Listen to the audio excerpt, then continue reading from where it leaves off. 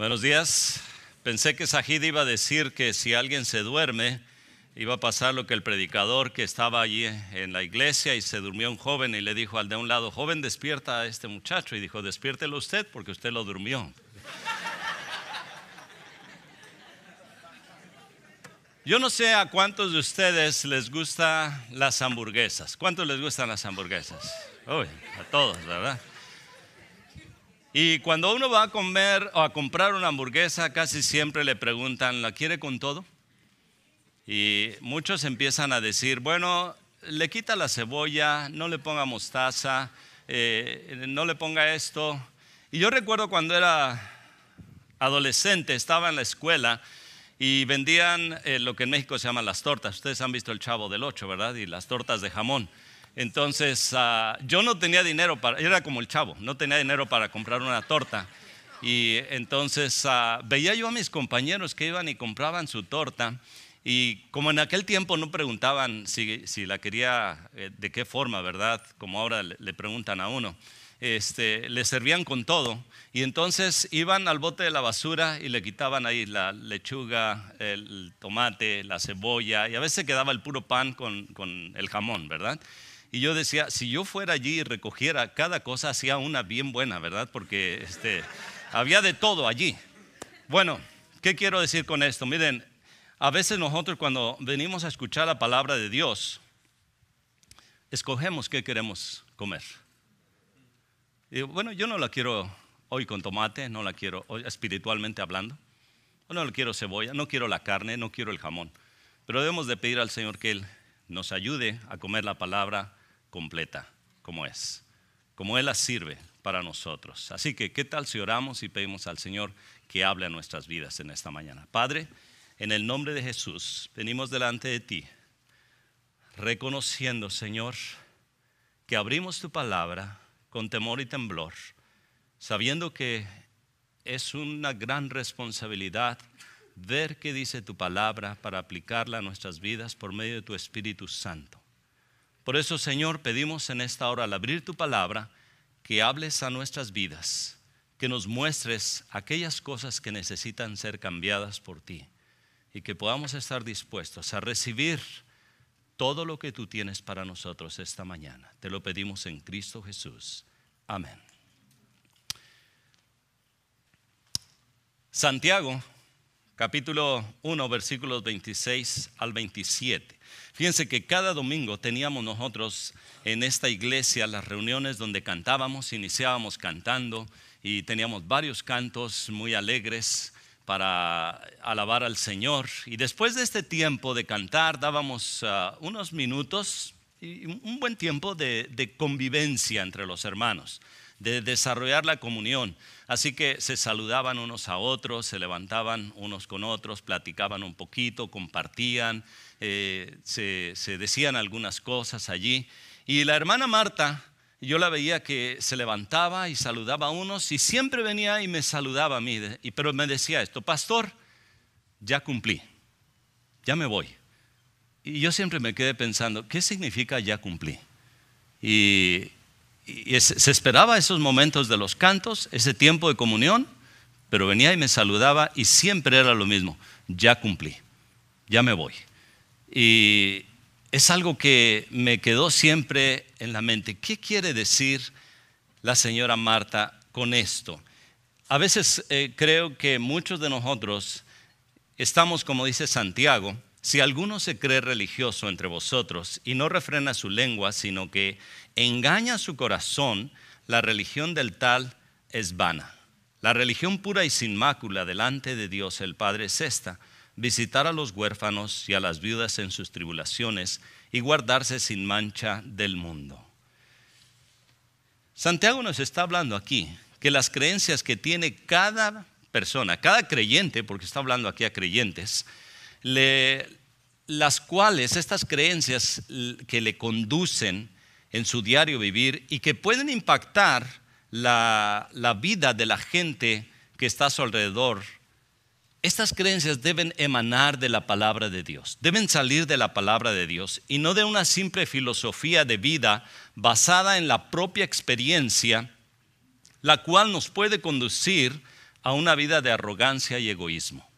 Cuando nosotros basamos nuestra religión en nuestra experiencia, nos va a conducir simplemente a la arrogancia, al egoísmo, porque no sale de la palabra de Dios lo que creemos que debemos de practicar. Y Santiago está hablándonos sobre esto. Así que él quiere decirnos algo. Es importante que estos dos versículos los veamos a la luz del contexto de lo que está teniendo aquí eh, el escritor. Y ya hemos visto antes lo que nos ha dicho. Eh, e, esta, esta parte, si alguno se cree religioso, está conectando lo que dijo ya anteriormente, todo lo que dijo desde el versículo 1 y como vimos la semana anterior, la importancia de la palabra de Dios en la vida de una persona y el practicar esto. Y, lo conecta con capítulo 2, cuando él habla, hermanos míos, que vuestra fe, ahora ya no dice religión, sino que vuestra fe. Así que está usando estos dos versículos para hacer esta conexión y tenemos que ver también lo que no dice la escritura porque muchas veces leemos, pero no leemos exactamente la palabra como debe de ser. Entonces tenemos que ver qué no dice la escritura. Y no dice que practicar la religión eh, con estándares bíblicos sea malo. Algunos hemos dicho, nosotros algunos decimos que la religión es mala. Hasta lo, mencionamos en esta forma. Cuando le compartimos a alguien del Evangelio, decimos, yo te hablo de una relación, no de religión, porque religión es mala. ¿Alguien ha dicho esto en alguna ocasión? ¿Algo parecido? Pues Santiago no está diciendo que sea mala la religión que está basada en estándares bíblicos. Eh, eso es lo, lo, que está aquí mencionando y tenemos que tener cuidado con lo que Santiago nos está diciendo y lo que no está diciendo. No dice que el creyente que practica la religión esté mal, no está diciendo eso. El problema está en lo que establezco yo como religión. Si yo establezco ciertas cosas y no están acordes con la palabra de Dios, eso es lo que está mal. No dice que considerarse religioso, como dice aquí, si alguno se cree, si se considera religioso, sea malo. El problema es cuáles son los parámetros de esa religión. ¿Son bíblicos? Entonces, esto es lo que tenemos que tener en cuenta. Y hay dos cosas principales que Santiago nos va a decir sobre este asunto. La primera cosa, el versículo 26, si alguno se cree religioso entre vosotros y no refrena su lengua, sino que engaña su corazón, la religión del tal es vana. Nos está hablando aquí, está diciendo a estos creyentes que es la religión que le guía al pecado esto es increíble, ¿verdad? La religión que guía al pecado. Y está diciendo, hay que tener cuidado de esto. Y está hablando entre creyentes, les está hablando a creyentes. Tenemos que recordar que todo lo que él está hablando principalmente está hablando a creyentes. Ya lo vimos eh, en el contexto anterior y el posterior. Eh, en el versículo 1 de capítulo 2, hermanos míos, continúa hablando, entonces se refiere a creyentes. Ah, ah, parece que algunos de ellos ya estaban en esta práctica de la religión que no tenía unos parámetros bíblicos, que no tenía bases bíblicas. Y nos llama la atención en la forma en que escribe, si alguno se cree religioso. Este verbo nos da la siguiente connotación, es considerar algo presumiblemente cierto, pero sin tener la certidumbre real. Es decir, yo creo que esto es correcto, aunque no sea correcto. Esto es lo que está diciendo aquí Santiago. También este verbo describe a una persona teniendo a una opinión o punto de vista que está basado en una apariencia que puede diferir de la realidad. Entonces, lo que está diciendo aquí Santiago, que un creyente puede considerarse una persona que está haciendo todo bien, pero completamente fuera de la verdad. Y cualquiera de nosotros podríamos estar allí en ese punto. Por eso yo tengo que preguntarme, ¿soy un religioso? ¿Yo soy religioso? Tengo que hacer esta pregunta, porque es posible que esté en esa condición, como lo está describiendo aquí Santiago. Y por eso eh, lo que vemos aquí es que nos hace un llamado a un análisis personal, aunque no nos lo dice así directamente, pero implícitamente está aquí, si alguno se cree religioso entre vosotros. Entonces yo tengo que ponerme a pensar, ¿soy religioso? Eh, es posible que suceda que otros vean en mí que soy muy religioso y que no estoy haciendo bien las cosas y yo no lo esté viendo, porque precisamente como eh, dice aquí, engaña su corazón, es muy fácil que yo crea que esté haciendo bien todo, esté engañado por eh, las cosas que estoy haciendo, todo el mundo lo está viendo y yo no lo estoy viendo porque me he engañado. Entonces yo tengo que pensar activamente en base a la palabra de Dios, como ya nos dijo en la, parte anterior de capítulo 1, yo tengo que hacer este análisis. Eh, tal vez eh, se han establecido ciertos parámetros en mi vida para practicar la religión. En el caso de los receptores de esta carta de Santiago, sí lo sabía. Ah, se puede notar al leer toda la carta, cuando vemos toda la carta, notamos que ellos tenían ciertas prácticas religiosas. Por ejemplo, nada más por mencionar un poquito, en el pasaje anterior eh, les está hablando de leer la escritura, de observar la escritura, pero ¿qué pasaba con ellos? Eran solamente oidores, la leían pero no la practicaban. Entonces, uno podría decir, sí, yo estoy eh, leyendo mi Biblia y yo podría hacer lo mismo. Ah, muchos de nosotros podemos caer en esta práctica religiosa de decir, yo todos los, todos los días leo mi Biblia, pero ¿cuánto de ello está siendo aplicado a mi vida? Y me puedo quedar con esta parte, leo mi Biblia, pero no hago más. Y entonces estoy convirtiéndome en un religioso que está en camino al pecado. Y estoy creyendo que solamente por leer la Biblia es suficiente, pero Santiago nos ha dicho que no es suficiente. Entonces, ellos tenían ciertas prácticas religiosas que eran buenas, pero que muy fácil pueden salirse de los parámetros bíblicos y ser guiados al pecado. Otra de las cosas que, podemos ver que ellos tenían una práctica muy buena, pero solamente parcialmente porque en capítulo 2, que se va a ver más adelante, no, quiero entrar en ninguna otra parte, solamente referencia, porque le toca a alguien más hacer esto. Ellos ah, cuando estaban congregados, si este es el caso de capítulo 2, si estaban en una congregación, llegaba alguien que era rico, ¿qué hacían con él? Hey, bienvenido, pasa. Y le mostraban amor y todo, ¿verdad? O sea, se ve bien eso. Pero llegaba un pobrecito ahí que, que olía un poco mal y que le decían, hey, vete allá a la esquina, ¿no? Este, entonces, tenían unas prácticas que parecía bueno en un sentido, pero en el otro no. Yo recuerdo una ocasión, estábamos en un grupo eh, de la iglesia, queríamos, estábamos hablando sobre evangelizar, y una persona hizo esta pregunta. Dijo, ¿y cuál es el, el perfil de las personas a las cuales les vamos a compartir el Evangelio? Y yo me quedé pensando, ¿qué quiere decir? Y solamente le contesté, pecadores. Porque si yo estoy diciendo, los que tienen dinero, ah, a lo mejor sí voy con ellos, ¿verdad? Pero ¿qué tal a los drogadictos? Los que están en, problemas bien, bien este, terribles, prostitución. Entonces digo, no, yo no voy con ellos.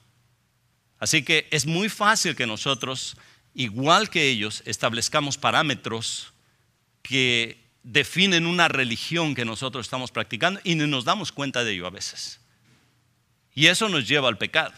Es lo que está diciendo aquí Santiago. Y podríamos hablar de, de más cosas, ¿verdad? Al estar estudiando este pasaje, yo mismo he tenido que hacer un análisis de mi vida y ver qué cosas he establecido como religión que no glorifican a Dios.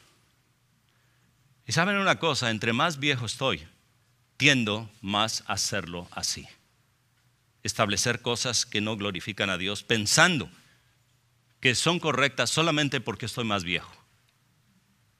Un hombre de unos 80 años, creyente, muy, muy, muy fiel, el hermano, pero él tiene un concepto precisamente, y eso me hace pensar a mí, la escritura me ha hecho pensar en este tiempo.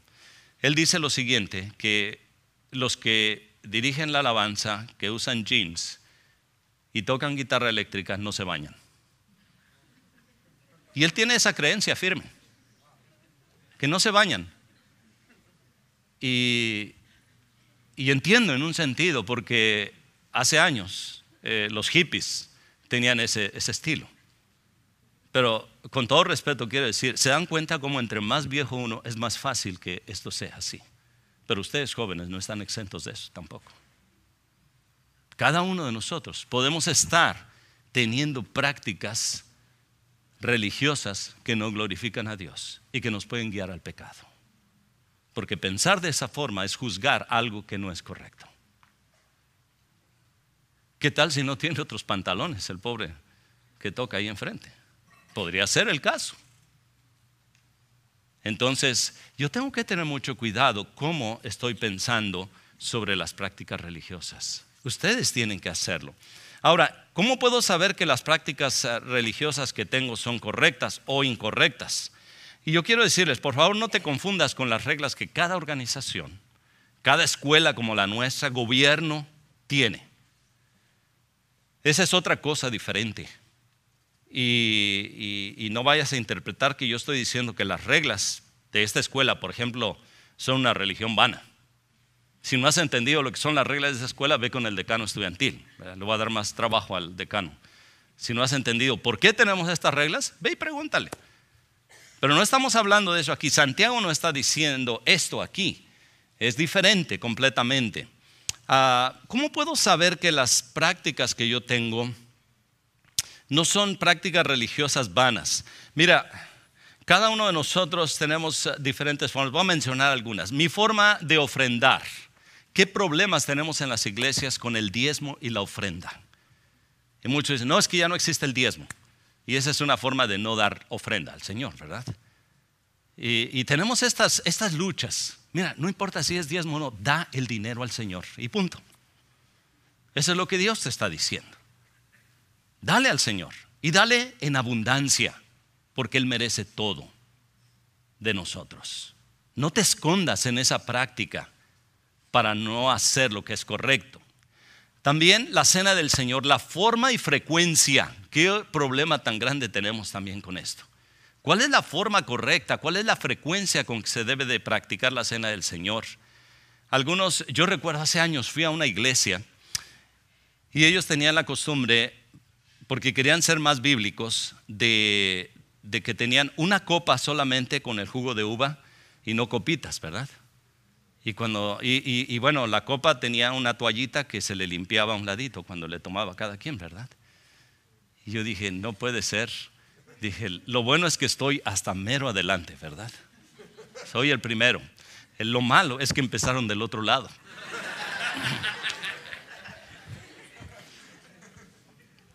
Y, tenemos tantas formas, ¿verdad? Eh, eh, de, de, servir. Decir, no, esta es la correcta, no es aquello. Mi hermano, ¿cuál es la esencia de practicar? la cena del Señor. Nos perdemos. ¿Se dan cuenta cómo es fácil que nosotros nos hagamos religiosos? Tengo que pensar sobre esto, congregarnos. Eh, eh, los tiempos han cambiado tanto. Yo recuerdo que era tan fácil antes porque en los domingos se cerraban todas las tiendas y se acabó. Ya, no había más y todo el mundo podíamos ir el domingo a la iglesia, pero hay gente que trabaja los domingos ahora bomberos, policías, doctores, eh, meseros, cocineros y, tantos que tienen que trabajar para su sustento diario. Y decimos, pero es, pecado que, que, no vayas el domingo. ¿Y qué va a hacer este pobre hermano, esa pobre hermana que es el único día tal vez que hace más dinero? Yo conozco una iglesia en un lugar una ciudad donde el sábado y el domingo es una venta que vienen de, diferentes estados a comprar, a surtirse en esa, en esa zona. Es una zona textil que produce mucha ropa y, y, tienen las ventas en grande ese día. Pues ellos tienen la escuela dominical a las 8 de la noche el domingo.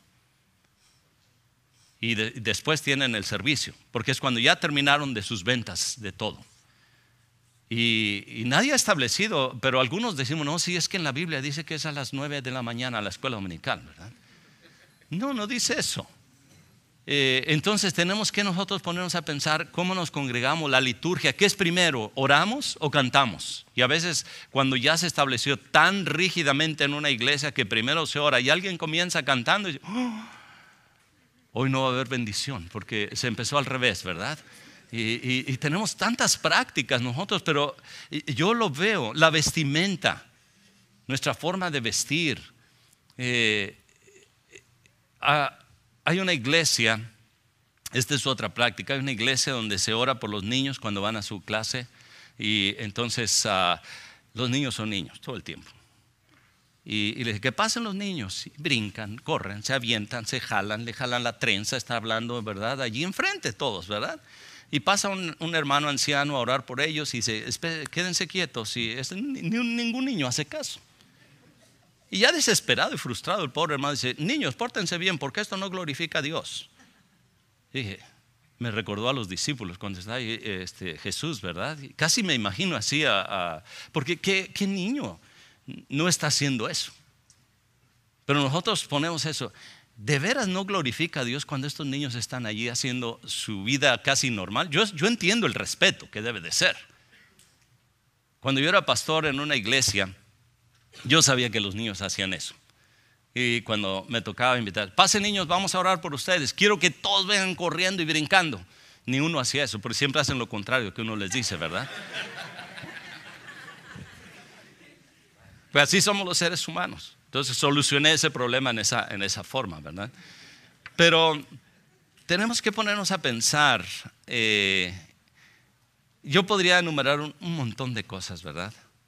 Eh, pero el, punto aquí es eh, tener la capacidad con la ayuda de Dios de reconocer que hay cosas que yo pongo en primer lugar a veces y que no tienen una base bíblica y solo las maquillo con algo de espiritualidad y me convierto en un religioso. El problema que nos muestra aquí Santiago es que cada uno de nosotros enfocamos prácticas piadosas o espirituales, religiosas, pero que a veces están alejadas de los principios bíblicos y por lo tanto nos aleja de la palabra y nos lleva al pecado, porque no estamos haciendo lo que Dios está pidiendo. Ahora, ¿con qué o cuáles son las bases o por qué hacemos este tipo de cosas, verdad? Eh, en las cuales apoyamos estas ideas religiosas. Regularmente cuando yo tengo ciertas prácticas religiosas, alivia mi, mi conciencia. Porque estoy haciendo algo que es bueno y eso me alivia la conciencia, no quita el pecado pero alivia mi conciencia. Justifica mi conducta también, que está mal, pero la justifica. Alimenta mi ego y encubre mi pecado. Por eso es mala este tipo de religión. Porque no, no me ayuda a ver lo que Dios quiere que vea de mi pecado. ¿Por qué está mal esta práctica? Es de llamar la atención que Santiago dice en esta parte, si alguno se cree religioso entre vosotros y no refrena su lengua, es la primera cosa que nos menciona aquí, y no refrena su lengua. Hay unos versículos muy interesantes, por ejemplo en el Salmo 39.1, ah, dice así, yo dije, guardaré mis caminos para no pecar con mi lengua, guardaré mi boca como con mordaza, mientras el impío está en mi presencia. Es decir, voy hasta amarrar mi boca. Porque saben una cosa, es bien fácil pecar con la boca. Santiago va a hablar más de esto. El Salmo 141, 3 nos dice, Señor, pon guarda a mi boca. Vigila la puerta de mis labios. Vigila la puerta de mis labios. Por eso es que dice aquí, eh, si alguno se cree religioso entre vosotros y no refrena su lengua, y Santiago Después en capítulo 3, desde el versículo 2 hasta el 12, nos va a hablar de la importancia de controlar la lengua. El que sabe controlar su lengua controla todo su cuerpo. En otras palabras, lo que está diciendo aquí es que está describiendo Santiago que este que se cree religioso tiene un comportamiento que no es bíblico. Según lo que nos dice más adelante, va a ocuparse con más detalle adelante en hablarnos que al no cuidar, al no controlar la lengua, mi comportamiento de todo mi ser no es bíblico. Cuando no se tiene control de la lengua, no se tiene control de todo el ser. Esto es lo que Santiago va a argumentar más adelante. Y, dice la parte aquí de Santiago, y no refrena su lengua. Eh, refrenar es eh, como poner este freno en el caballo. Lo va a explicar más tarde. En otras palabras, estaba mal el comportamiento de estos creyentes, no era congruente con los principios bíblicos. ¿Cuáles cosas que yo estoy practicando no son congruentes con los principios bíblicos? Es algo que tengo que analizar. Es muy fácil que yo vea a los demás y diga, oh, mira, él no está haciendo bien. Él no ora de esta manera. Él no ayuna. Y, y empezamos a establecer ciertas cosas que no van congruentes con lo que Dios demanda. Y luego dice Santiago aquí, sino que engaña su corazón. Ah, yo tengo que ponerme a, pensar que en mi vida religiosa, ¿quién refrena mi lengua? Es muy fácil descontrolarse, es muy fácil decir cosas que, de las cuales después nos lamentamos, pero no siempre nos arrepentimos de ello. Yo conocí a una persona que cuando se molestaba hablaba y decía muchas cosas que no debía de haber dicho. Después tenía remordimiento, no se arrepentía, solo tenía remordimiento. Venía y, por ejemplo, decía algo parecido. Oye, quería decirte que estuve pensando en lo que te dije y en la forma en que te lo dije. Entonces quisiera pedirte perdón por la forma en que te dije las cosas. Sigo pensando que lo que te dije es correcto, pero la forma en que dije no estaba bien. Y dije, bueno, es lo mismo, al último. Solamente tenía un remordimiento, pero no se arrepintió realmente de lo que dijo. Y esto es lo que está enfocando aquí Santiago, sino que engaña su corazón. En general la idea es que le guía hacia el pecado y lo que está diciendo al decir que engaña su corazón le está guiando al pecado. Según Santiago, esta forma de vida y comportamiento es vano. Si alguno eh, se cree religioso, y no refrena su lengua, sino que engaña su corazón, es decir, va guiado al pecado, la religión del tal es vana. Esta, esta forma que dice aquí Santiago es vana, se dice de algo que es eh, falto de contenido, sin uso, sin propósito. Cuando no hay propósito en lo que estamos haciendo, resulta en algo estresante. Por eso esta práctica religiosa que no está basada en la palabra de Dios es, es algo que drena la vida de la persona. Terminas cansado, drenado, porque todo era un enfoque tuyo, no era para glorificar a Dios. Entonces dice, es vano, no sacaste nada de provecho. Yo recuerdo de esta palabra vano, eh, cuando era chico, y mi abuelito traía unas nueces a la casa y nos ponía a pelar las nueces. Y a veces partíamos una nuez y no tenía nada dentro, era de esas que estaba seca completamente. Y recuerdo que él siempre decía, está vana. Es decir, no hay nada dentro. Santiago está diciendo, cuando abrimos tu vida, no hay nada adentro. Cuando el Espíritu Santo ve tu vida adentro, no hay nada adentro. Entonces, ¿qué caso tiene estar practicando una religión que no tiene nada adentro? Tengo que ponerme a pensar esto. Así que la pregunta que nos surge aquí es, ¿soy religioso? ¿Soy religioso? ¿Yo, un religioso? Me toca ver y analizar cuáles de mis prácticas son una religión vana. Es terrible pensar que la práctica de tu religión te lleve al pecado. Pero esto es lo que nos está diciendo Santiago creo que aún es importante que nos pongamos a pensar, ¿yo soy uno que solo practica la religión o realmente un día reconocí a Jesús como Salvador personal? Yo sé que estoy hablando a estudiantes de un seminario, a miembros del staff de un seminario, pero podría haber la posibilidad de que todavía no reconozcas a Jesús como tu Salvador personal. Y no sería de dudar que eso pasara en alguno de nosotros. Y no quiero dar por sentado que todos aquí realmente conocemos a Jesús como Salvador personal. Creo que es importante que tan solo pensemos un poquito en esto y dejemos que el Espíritu Santo hable a nuestras vidas. La segunda cosa que nos dice Santiago aquí en el eh, versículo 27, la religión pura y sin mácula delante de Dios el Padre es esta, visitar a los huérfanos y a las viudas en sus tribulaciones y guardarse sin mancha del mundo. Esta es la religión que glorifica a Dios, la que está libre de pecado, porque dice pura. la religión pura. Ah, esta palabra tenía la idea de la limpieza ceremonial. Recordemos que Santiago está hablando a las tribus que están en la dispersión, son judíos, entienden perfectamente la importancia de la pureza en los rituales.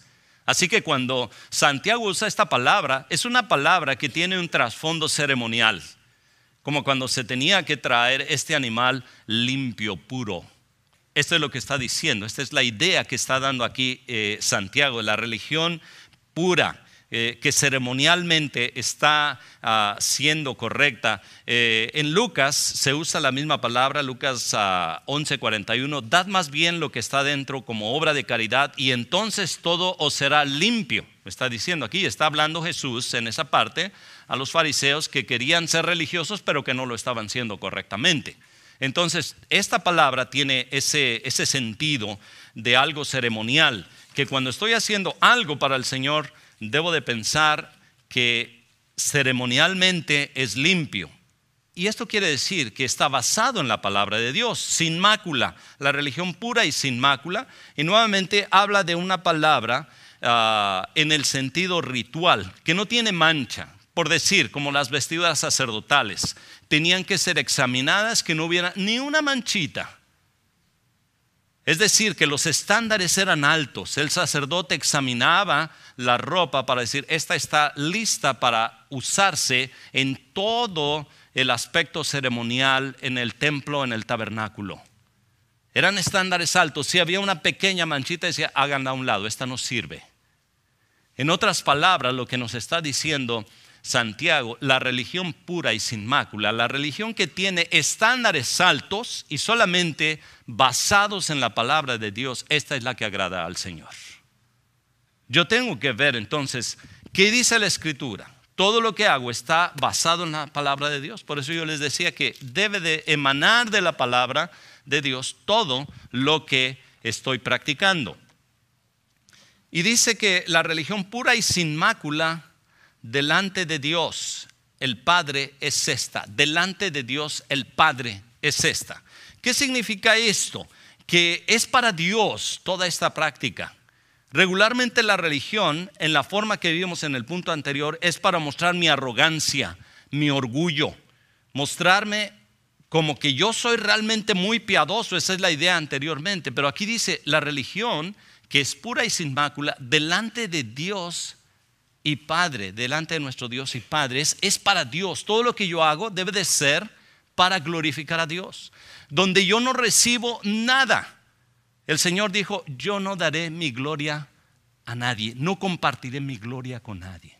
Déjame preguntarte algo. ¿Alguna vez has tenido esta experiencia de que hiciste algo muy bueno y le dieron las gracias a todos, reconocieron a todos y a ti no te reconocieron? ¿Alguien ha tenido esta experiencia? Yo sí la he tenido. ¿Cómo se siente uno? Dice, oye, y esto es lo que dice aquí Santiago. Así debes de quedarte al último, porque la gloria es para Dios. Él merece toda la honra y toda la gloria. Miren, hace años este, llegamos a casa y había, cuando puse la pickup enfocando para, la cochera de la casa, había un perro allí en la casa. Los perros son siempre fieles y, muy buenos con alguien que les hace algo bueno. Este perro estaba perdido, un pastor alemán, estaba cansado, agotado, sediento, hambriento, y, y entonces me bajé y dije, mira, este perro está perdido, le dije a mi esposa, y abrí la cochera, metí la pickup, lo metí y se metió el perro y le di agua y le di de comer y estaba el perro comiendo y, estaba cansado.